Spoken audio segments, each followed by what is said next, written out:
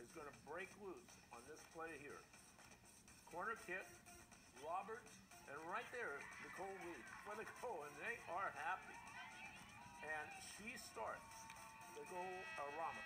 A great play there, Roberts to Lee,